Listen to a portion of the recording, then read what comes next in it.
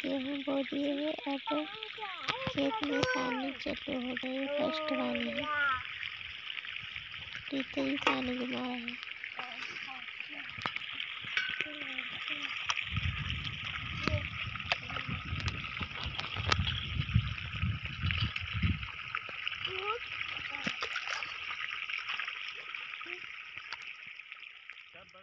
हैं